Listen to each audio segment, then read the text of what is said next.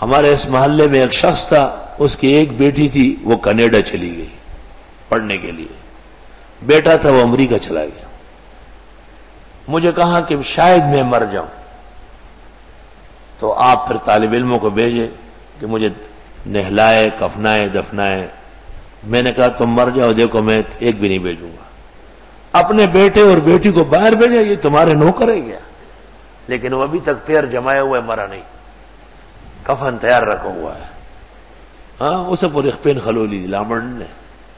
پیتا مطالبان نمی طالبان تم مڑ شاہو تا سر وزا پوش خود تم مڑ شاہو لیکن دا سے خبر ہے اور دے دیئے میں نے اس کو مال لمبا چھوڑا ممدودہ جہدادوں میں ٹرینیں چل دیئے فیکٹری میں نواز شریر کی تین گھنٹے گاڑی چل دیئے